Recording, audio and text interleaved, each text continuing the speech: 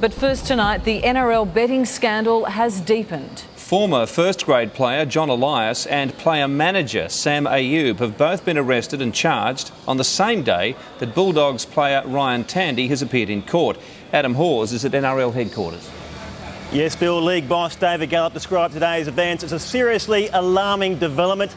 Not only was Elias and Ayoub charged, but there were three additional charges laid against Bulldogs prop Ryan Tandy when he appeared at Downing Centre local, local court earlier today.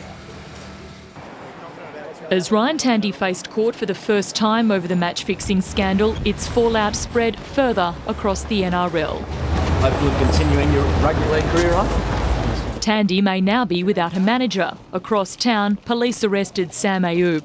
Are you involved in this betting at all, Sam?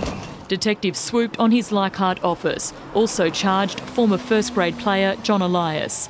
They're accused of trying to defraud betting organisations ahead of the Bulldogs Cowboys game last August. Well, what we're saying is that they had knowledge of a predetermined outcome of that game. It's a seriously alarming development. Three fresh charges were laid against Tandy, and he pleaded not guilty to all of them. He's accused of lying about his betting activities, as well as a conversation regarding his position on the field for kick-off. Police papers put to the court also claim Tandy lied about placing a bet on a game between the Bulldogs and the Titans two months before his side played the Cowboys. They lost that game against the Gold Coast by just one point. Police won't say how many matches will be investigated. How far it will extend will depend on the information and the evidence that uh, comes within our possession. The player manager and John Elias have been granted bail and will face court next month on the same day Tandy is due back. Jess Pelliccioni, 10 News.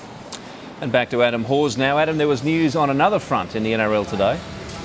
Yeah, Bill, this had actually started out as the story of the day. Todd Carney being fined by his club $10,000 by the Sydney Roosters after being charged with drink driving. He's also been handed a five point management plan as he helps deal with his problems with alcohol. All of this was endorsed in a meeting with the NRL today. We'll hear from Todd Carney a little bit later on in sport.